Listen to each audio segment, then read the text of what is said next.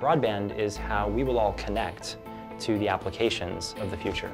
I'm Chris Kemp. Uh, I'm the founder and CEO of Nebula. The name itself, Nebula, is a cloud of, of gas and space where stars are born.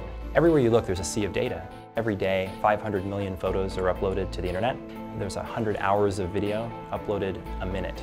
There's really an unprecedented amount of this data. If you were to measure all of that data, that might be uh, an exabyte of data, uh, say every day. So Nebula's mission is to democratize this internet scale computing that's transforming our world. Uh, broadband is what connects us to the cloud. Cloud computing really is only enabled through uh, ubiquitous high-speed connectivity.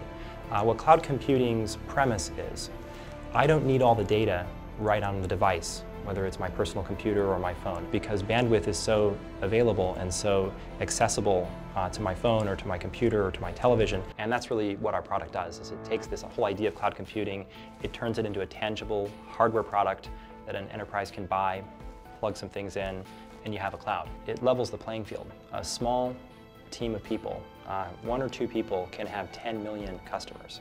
Uh, 10 years ago, that just wasn't possible.